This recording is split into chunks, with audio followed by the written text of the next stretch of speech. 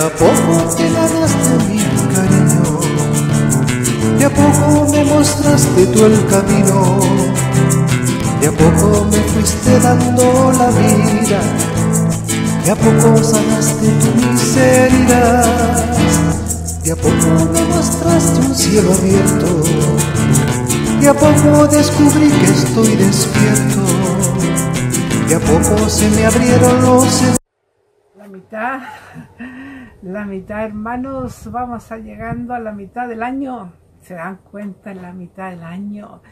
Y cómo estamos un poquito mejor, no, igual, es peor, hermanitos, si miramos el primero de enero, miramos el primero de junio, mucho, mucho ha pasado y alegrías, penas, tristeza, logros, todo hermanito, y eso es la vida. Así que veamos este mes, ya miremos hacia atrás, este medio año que hemos tenido, agradecidos del Señor con todo, porque hemos crecido con lo negativo, con estos fracasos, esas caídas, nos ha fortalecido, nos ha purificado y estamos en este camino de proceso en el camino del Señor.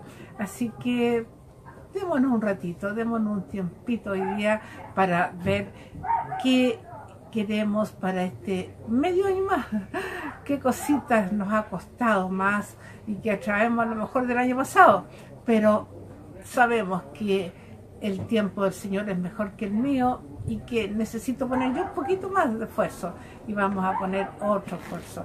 Y me han pedido por ahí que terminamos los frutos el, año, el mes pasado, Pentecostés, los dones y los frutos, y vamos a comenzar recordando algunos, ah, algunos frutos para ver qué podemos hacer y qué nos mejora.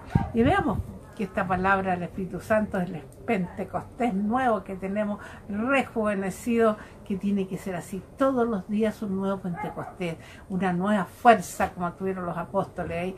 Y pidámoslo, sigamos insistiendo con nuestra querida jerarquía de la iglesia, por el Papa, que ese Pentecostés de la fuerza, de la amor, de su sabiduría, salga y renovado todos los días. Y como decíamos, que íbamos a ver nosotros un poquito los frutos y hay un fruto que todos me han dicho que, que les cuesta porque la amargura de la vida es la A, la alegría. Y vemos que nos dice en Filipenses 4.4, ¿se acuerdan?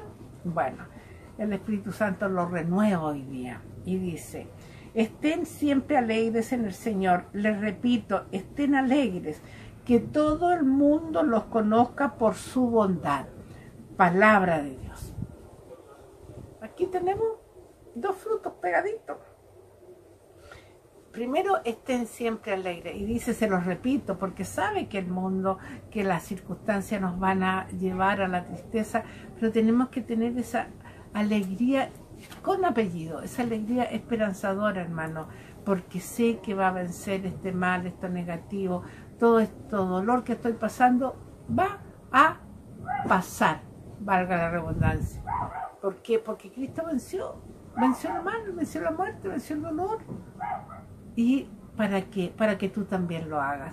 Así que digámosle al Señor que este fruto de la bondad, de la alegría, de, ahí, de la paz, del amor, nos llene y podamos la gente acercarse a nosotros a buscar ese frutito que tan necesario hoy, especialmente la alegría esperanzadora en el triunfo del amor del Señor.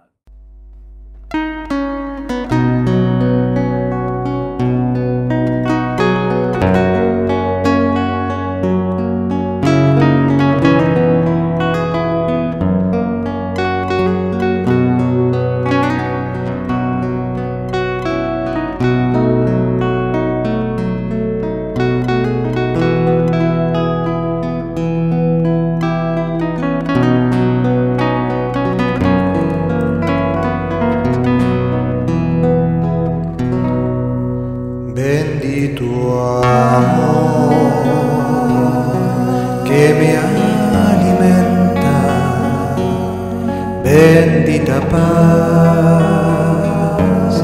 que me ilumina.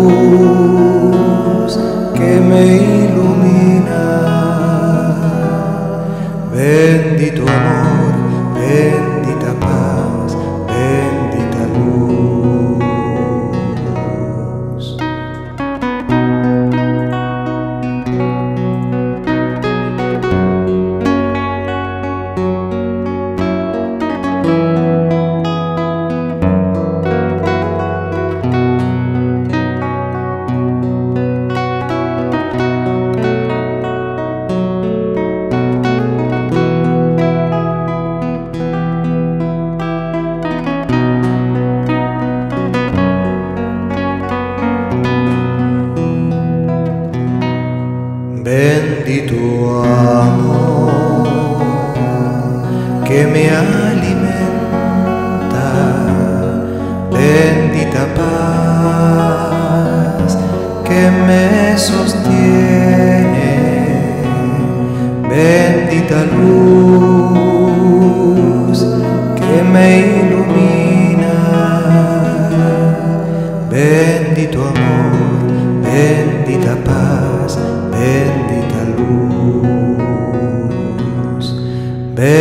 luz, bendito amor, bendita paz,